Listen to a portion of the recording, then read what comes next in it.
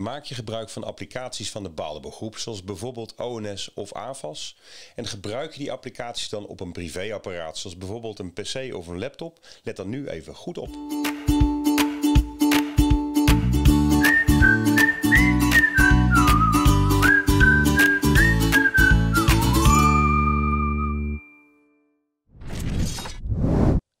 applicatie die je gebruikt kan namelijk mogelijk bestanden, tijdelijke bestanden wegschrijven op de downloadsmap van je computer. Het is dus belangrijk dat deze tijdelijke bestanden snel weer worden weggehaald om te voorkomen dat ze oneigenlijk gebruikt worden. En hoe doe je dat nou eigenlijk? Ik ga het laten zien. Ik schakel even over naar mijn laptop. Ik maak mezelf wat kleiner. Dit is mijn bureaublad. Um, om bij mijn bestanden te komen doe ik heel eenvoudig vlaggetje E, de E van Explorer, oftewel verkenner in het Nederlands. Links staat mijn downloadsmap.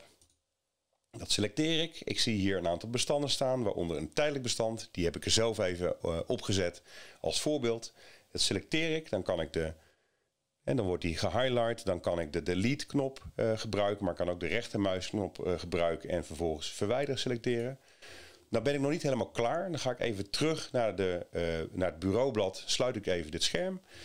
Dan zie je de prullenbak staan. Daar zit een aantal bestanden in, of één.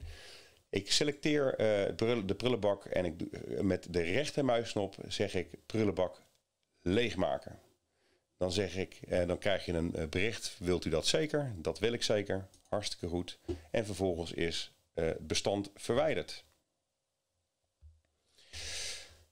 Dit is dus hoe je een uh, tijdelijk bestand verwijdert. Zorg ervoor dat elke keer als je met, de applicatie, met een applicatie zoals ONS of AVAS gewerkt hebt op je privéapparaat, je, je downloadsmap uh, even checkt of daar tijdelijke bestanden staan van deze applicaties. En uh, zorg ervoor dat je dus deze verwijdert.